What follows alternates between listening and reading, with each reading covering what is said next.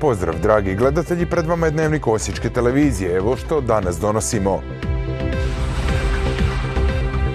U širu upotrebu ušli prije par godina, danas bez njih nezamisliva je poljoprivreda. Započeo drugi Osijek Drone Expo. Započeo 43. simpozij primalja po prvi puta u gradu Vukovaru. Ovogodišnja tema primalje u zajednici. Veleposlanica Bugarske Genka Georgijeva u službenom posjetu Vukovaru. Tema gospodarska suradnja i iskoristivost Luke Vukovar. U iduća tri dana Osijek je po drugi puta domaćin manifestacije Drone Expo, na kojoj se predstavljaju moderne tehnologije i inovativna rješenja na bespilotnim sustavima. Sve je započelo ovog prijepodneva na Građevinskom i arhitektonskom fakultetu, konferencijom namijenjenom prvenstveno poljoprivrednim proizvođačima, jer dronovi su u razvijenim zemljama već odavno dio takozvane precizne poljoprivrede, a sve više se koriste i u Hrvatskoj. Jedni ga koriste iz čiste zabave, drugima je pak alat za snimanje atraktivnih videomaterijala. No dronovi se sve češće koriste i u poljoprivredi, i to ne samo u zapadnim zemljama, već i u Hrvatskoj. Uštede su stvarno velike. Znači vi dobijete po jednom hektaru samo, ako vam neko uštedi 30-40% gnojeva, vi ste već u plusu. Nema, nema, računica vrlo jednostavna. Znači vi dobijate kompletnu sliku, analizu svog polja, gdje ide šta, znači da li tu ide gnojivo, da li tu ide voda, da li tu treba pesticid, znači da li korijen se mora, znači vi kompletnu sliku dobijete svog polja i uštede su činjenice. Pa tako u Slavoniji već imamo OPG koji pruža usluge snimanja poljoprivrednih površina i zraka. Jedna od kultura s najvećom dodanom vrijednosti je vinogradarstvo, pa od presudne važnosti kvalitetno tretiranje grožđa. Vinogradari sa dobrim praksama i sa poboljšanjem rada na uzgoju, na uzgoju grožđa mogu dobiti dosta na povećanju kvalitete grožđa, mogu segmentiranjem vinograda i segmentiranjem berbe recimo i tako dalje odrediti kvalitetnije grožđe i manje kvalitetno grožđe koji će se onda koristiti u zapravljanje dvije različite vrste vina. Današnja tehnologija, čak i kada je u pitanju tako osjetljiva grana poput poljoprivrede, omogućuje gotovo sve što poželite i znatno olakšava procese uz velike uštede te kvalitetnije i veće prinose i na koji način mogu optimirati svoje djelovanje, znači e, ili plan berbe ili planiranje zaštite tokom, e, tokom sezone e, ili ljudski rad kroz cijelu sezonu na temelju podataka koji mogu dobiti sa raznih tipova senzora, da li su to senzori koji se nalaze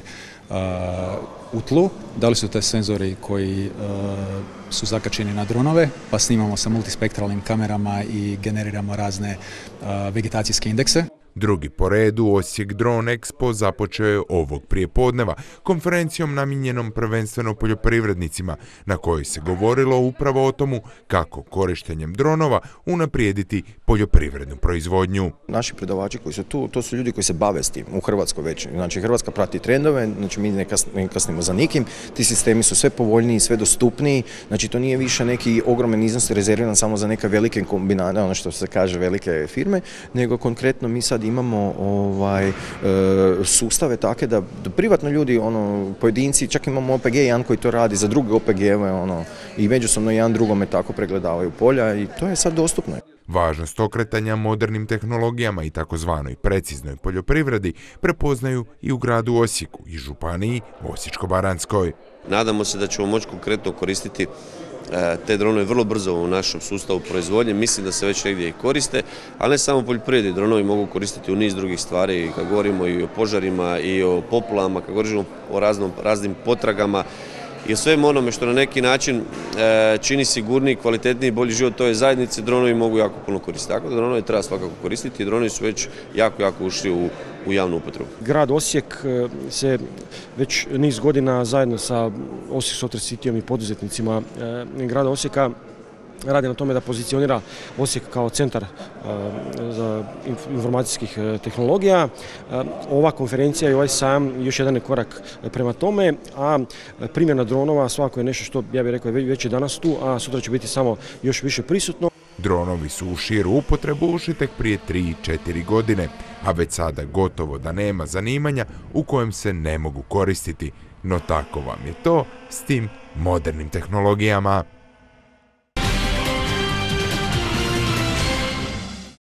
Svake godine Hrvatska udruga za promicanje primaljstva organizira simpozij na kojem se educiraju primalje kako bi se ta struka u Hrvatskoj dodatno unaprijedila.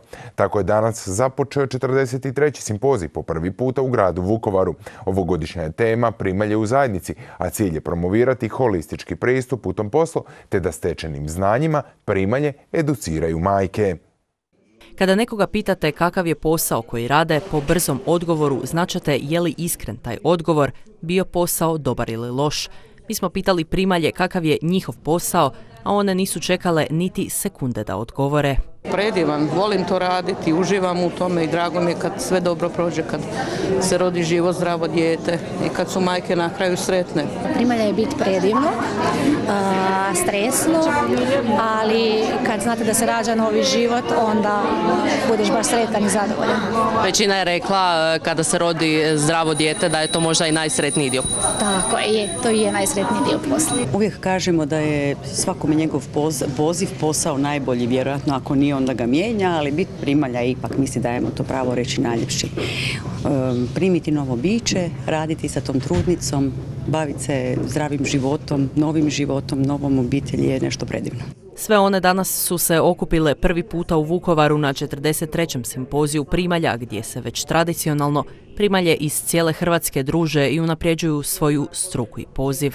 Nastojimo da stvarno budemo jedna zajednica, simbioza primalja sa tim trudnicama, da sve više i više se primalje uključe u te trudničke tečeve, da one educiraju žene, ne da žene educiraju sve više nestručne osobe koje su jednom rodile, dva put rodile nešto čule u porodi i otvaraju svoje tečajeve, otvaraju svoje udruge, a pročitale su nešto ili par kongresa posjetile misle da nešto znaju. Primalje bi trebalo educirati trudnice, to su stručne osobe. Glavna je zadaća primalje, kažu u udruzi, biti strpljiv, ali one su i više od toga.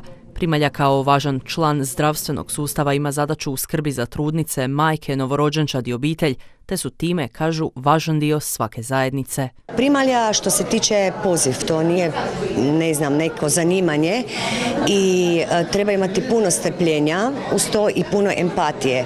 Teško je u nekim slučajevima kad se nešto pođe po zlu, to je, tat je to najgori dio posla, to svaka primalja zna i svaka primalja ima puno empatije i to je nažalost najteži i najgori dio posla. A ostalo mislim da zaista imamo najljepši i najdivniji posao na svijetu a kako to biva u Hrvatskoj, zainteresiranost za ovaj poziv postoji, no sustav to ne prepoznaje. Nemamo školstvo, nemamo još e, diplomski studij, imamo nažalost samo do diplomski studij, to je u Rijeci i u Splitu, samo nigdje drugdje. Srednja škola postoji, međutim e, samim, samim regulativama e, primanja je teško dolaze do više razine školovanja, a sve više je potreba za tim. Kada jel, neko na više instanci odluči da primalja se mogu školovati diljem cijele Hrvatske, ne samo u Splitu i u Rijeci, mislim da će biti onda i veći poziv jer mnoge primalje su primorane završiti studij sestrinstva kako bi jel, imale višu razinu obrazovanja. Zapravo smo tu zakočeni i to je najviše što nas brine. Vukovar sve češće postaje mjesto raznih kongresa s područja medicine. Ovaj današnji, e, dakle kada govorimo o primaljama, ja tu moram iskoristiti priliku i izraziti svoje zadovoljstvo radom e, našeg rodilišta i naše Vukovarske bolnice koja evo iz godine u godinu bilježi e, porast broja novorođene djece, ali isto tako sve veći broj žena koji čak iz drugih županija dolaze rađati upravo u Vukovar i mislim da to dovoljno govori o kvaliteti usluge u Vukovarskoj bolnici. Posao primalje ima holistički pristup, kažu na simpoziju, ali je ona ujedno i stručna osoba koja je stalno uz ženu, no svjesni smo da su primalje i psiholozi i prijateljice koje su u tim trenucima majkama najpotrebnije. Gradonačelnik grada Vukovara Ivan Penava održao je sastanak s njezinom ekscelencijom Genkom Georgijevom, veleposlanicom Republike Bugarske u Hrvatskoj. Nakon nastupnog posjeta u Ožujku, sastanak je ovaj put bio gospodarske naravi, te su gradonačelnike veleposlanica potvrdili kako će se suradnja konkretizirati, a na idući će sastanak pozvati i gospodarstvenike koji mogu doprinijeti razvoju suradnje. Kako to inače biva, prvo ide upoznavanje, pa tek onda sastanak o konkretnim suradnjama. Tako je to išlo u slučaju gradonačelnika grada Vukovara Ivana Penave i veleposlanice Republike Bugarske Genke Georgijeve, koji su ovaj puta obuhvatili teme gospodarske naravi. Danas imamo mogućnosti da pričamo o konkretizaciji naše suradnje. Imali smo priliku da se upoznamo sa gospodarskim potencijalima grada Vukovar i planovima općine za budući razvoj, uključujući mogućnosti biznes to biznes sastanaka i naravno nekih investicija. Naravno da smo mi kao grad e, koji je na Dunavu i sukladno toj činjenici da je Bugarska jednako tako podunavska zemlja, e, odredili i detektirali da nam je tu ogroman izazov i ogromna e, jedna povoljna situacija na kojoj trebamo raditi, razvijati je dodatno u gospodarskom smislu. napravili smo jednu razmjenu informacija o tome na kojim poljima gospodarstva je najizglednija suradnja. Za gospodarski potencijal tako će tražiti gradove i tvrtke koji bi omogućili suradnju. Mislim da je to e, priča e, na kojoj trebamo u perspektivi raditi i razvijati je naravno da iza ovoga da ću slijediti e, susreti na ovoj razini, ali sa gospodarstvenicima i da naravno iz aspekta Vukovara da smo obrazložili potencijale grada Vukovara u domeni gospodarstva, ali jednako tako i e, potencijale ovoga kraja jer nam je naravno u interesu da se preko grada Vukovara, preko Luke Vukovar zapravo maksimalno E, razviju e, i potencijali istočne Slavonije. Luka Vukovar igra veliku ulogu u budućoj suradnji obzirom da se Bugarskoj dovozi određena roba čiju razmjenu žele povećati. Za prošlu godinu robna razmjena između Bugarske i Hrvatske jedva dostiže 190 milijuna eura, što je pet puta veći, već, veći добиток него што смо имали за задње пет година, но Вуковар исто има свој дел овде, посебно кроз Луку Вуковар, но на жалост Бугарско вози из преку Луке Вуковара комбајне, шечер, исто довозимо наше ствари, но питање е како то ту сурадњу структурирати. Велепосланица и градоначалник уедно су поводом дана победе над фашизмом на бугарском војном гроблју положи položili vijence i odali počast bugarskim časnicima i vojnicima koji su poginuli na bojištima drugog svjetskog rata. Kao što sam imala prilike da kažem i kad smo bili kod groblja, bugarskog groblja, ja smo, ja kao bugarska veleposlanica i mi kao predstavnici Bugarske smo jako zahvalni gradu Vukovaru na održavane te grobnice. Kosti tih 1029 bugarskih časnika i vojnika bugarske vojske, to nisu partizani, to je bugarska vojska, nas vežu i kroz hrvatsko tlo. Ovo neće biti zadnji sastanak takve prirode, kažu oni, a obzirom da su u svjetskim razmjerima Hrvatska i Bugarska manje države, razgovarali su i o zajedničkim nastupima prema većim tržištima kako bi i jedni i drugi profitirali od zajedničke suradnje.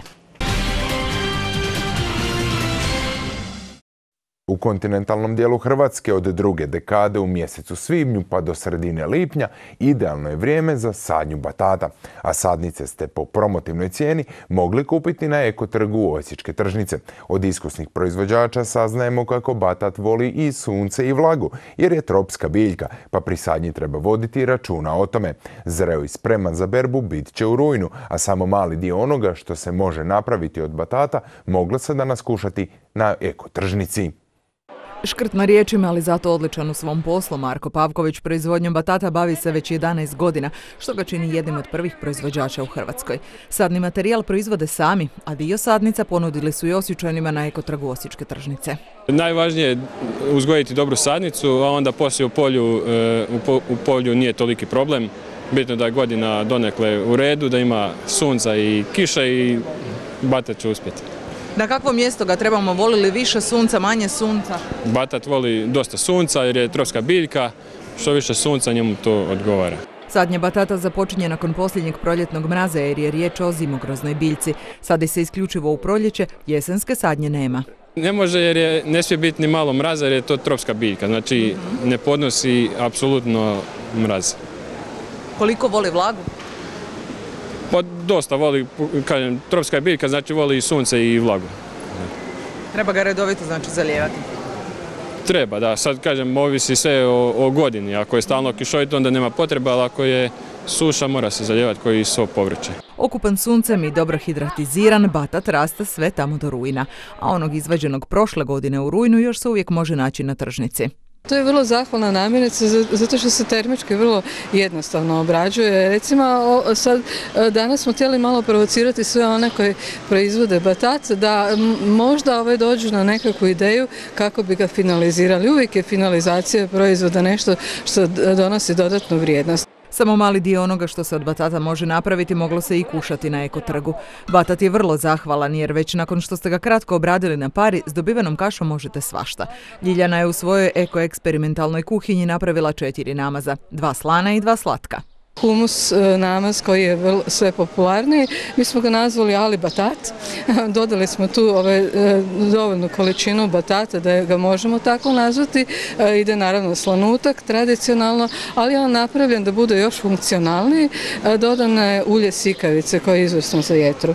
Onda ovaj smo nazvali Mr. Batat, budući da je on obogaćen bučenim proteinima. I tu najviše ima batata, bučenog proteina i malo bučenih golica da, da ima zanimljivu teksturu. Slatka kombinacija donosi lješnjak i voćnu varijantu. Lješnjaci su uvijek dobitna kombinacija u svemu, tako da i ovaj koji ima banalni naziv Mr. Nat, naravno on je s lješnjacima i jako je fin. E, moram naglasiti da se nigdje ne mora dodati ovaj šećer, one slatke ili batat sam sladak. A ovo je, ovo i mene bilo iznenađenje, sam ga pravila, e, to je onako fruti batat, jako originalan naziv. Dodano je e, voće, e, dodana je banana, e, jabuka i naranča i, i malo cimeta opet zbog funkcionalnosti. Sve to posluženo je na kruhu čiji je sastavni dio ponovno bio batat uz brašno sikavice. Petu godinu za redom Katehetski ured Đakovačko-Osječke nadbiskupije organizirao je kreativnu smotru vjeronaučkog stvaralaštva vjeroučenika osnovnih i srednjih škola Đakovačko-Osječke nadbiskupije pod nazivom Vjedra 2019. U Osječkom vikarijatu okupilo se dvadesetak kulturno-umjetničkih školskih skupina s oko 200 učenika s ovog područja. U pastoralnom prostoru Vikarijata Osijek po treći puta zaredom, a ukupno peti puta, održana je kreativna smotra kulturno-umjetničkog stvaralaštva školaraca s područja Đakovačko-Osječke biskupije. Tema ovogodišnje smotre bila je Hrvatski sveci i blaženici. Kreativna smotra vjeronaučnog stvaralaštva koja se po peti put e, održava evo ovdje u Osijeku.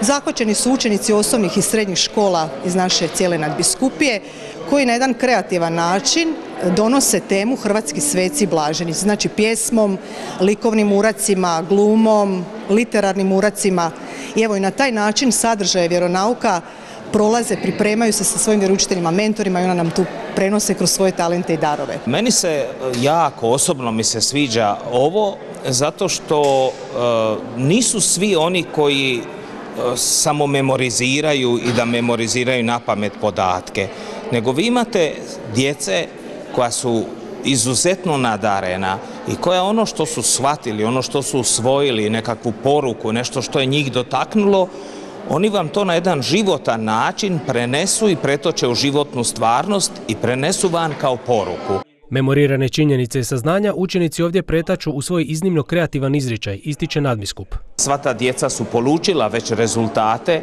jer oni su bili sudionici vjeronaučnog natjecanja u svojim školama, jedan dio njih na županijskom pa na biskupijskom natjecanju i sad ovi koji ne idu dalje, koji su htjeli, su se uključili, oni ono stečeno znanje dalje na određen način nastoje pretočiti u život. To su pravi genijalci i kreativci koji svako prema svojim darovima i sposobnostima kroz glumu, kroz pjesmu, kroz ples na različite načine nastoje ono što su oni negdje usvojili, ono što je su shvatili, doživjeli kao neku poruku za sebe, pretaču u konkretnu stvarnost. Uz nadbiskupiju Smotru Vjedra 2019 organizirali su Agencija za odgoj i obrazovanje podružnica Osijek u suradnji s Vikarijatom Osijek i udrugom katoličkih skauta Đakovačko-Osječke nadbiskupije. Agencija za odgoj i obrazovanje se e, uključuje kao suorganizator ove smotre e, dječjeg učeničkog stvaralaštva i u svakom slučaju velika nam je čast da je prepoznata važnost e, te odgojne dimenzije stvaralašte kreativnosti učenika i sudjelujemo na različite načine u osmišljavanju natjecanja i smotri ovakvog tipa. Vjeronauk svakako potiče odgojnu dimenziju kod učenika gdje sad učenici kroz stvaralaštvo pokazuju svoja znanja, sposobnosti, vještine, odnosno kompetencije koje dolaze do izražaja upravo u njihovoj kreativnosti. Ove godine oko 200 zajedno s vjeručiteljima mentorima i ono što je važno za naglasiti da vjeručitelji surađuju sa drugim predmetnim nastavnicima, učiteljima likovne kulture, glazbene kulture. Tu nam je ove godine su učenici iz Centra za odgoj i obrazovanje Ivan Štark koji isto dolaze sa svojim suradnicima, stručnim defektolozima i tako, u pratnji ravnatelja škola. Tako da je to jako dobro prihvaćeno od strane i škola i vjeroučitelja i učenika. Među dvijestotinjak sudionika smotre bili su i mladi višnjevčani. Ima nas stvarno jako puno, e, znači predstavit ćemo se sa pjesmama Mi želimo uzdići Isusa, e, predstavit ćemo se sa još dvije pjesme s kojima smo i prije nastupali, e, to su pjesme Dječji svijet i pjesma, kako se ne, ja mislim da je to to. Po koji puta sudjeluješ na ovakvoj smotri? treći, četvrti put već. Kako ti se čini ovo sve? Jako lijepo, super je.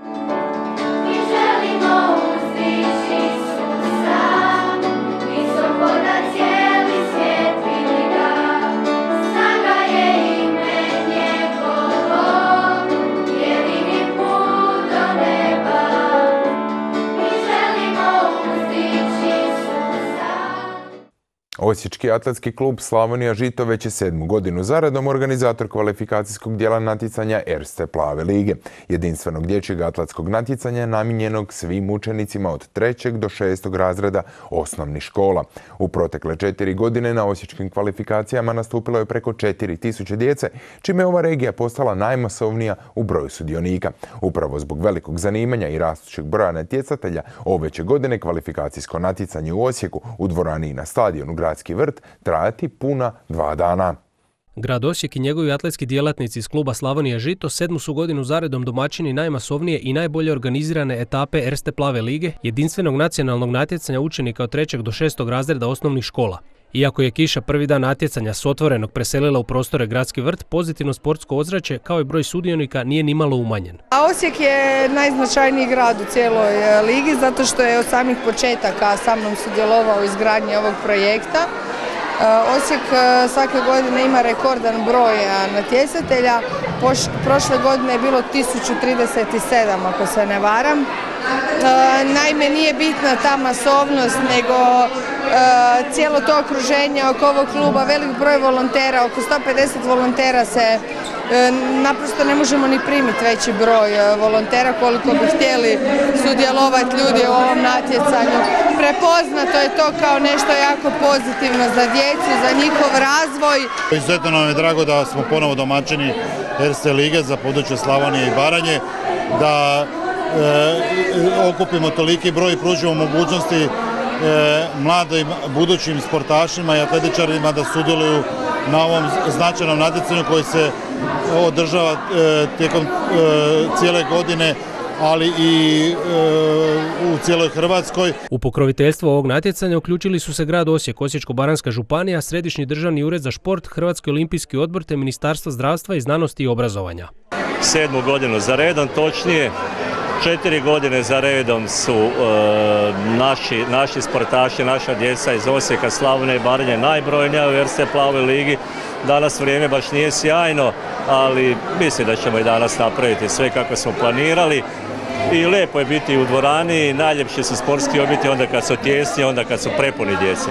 Kvalifikacijska natjecanja održana su već u Zagrebu i Rijeci, a nakon Osijeka slijedit će u Makarskoj, Puli i Zadru, te po prvi puta u Kninu i Vukovaru. Po dva najbolja natjecatelja iz svake discipline predstavljat će svoj grad, odnosno regiju na velikom finalu koje će se održati 3. rujna na Hanžekovićevom memorijalu u Zagrebu. Ove godine smo već imali natjecanje u Zagrebu i u Rijeci. Rijeka isto, Rijeka isto vrlo uspješna, isto nam je bila kiša pa smo bili u dvorani i evo hvala Bogu da i Osijek isto ima uvjete da imamo gdje u Zagrebu.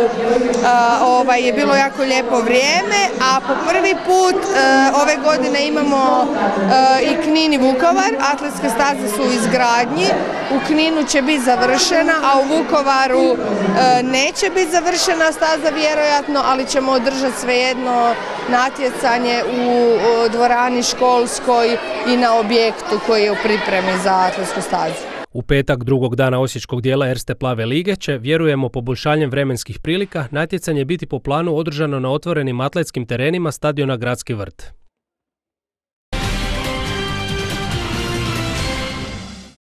U tjednu na čijem je otvaranju ostvarila najbolji ranking karijere usponom na 24. mjesto svjetske VTA ljestvice, osječka tenisačica Dona Vekić nije se uspjela plasirati u treće kolo velikog turnira iz Masters serije 1000, koji se igra na zemljanim terenima Madrida.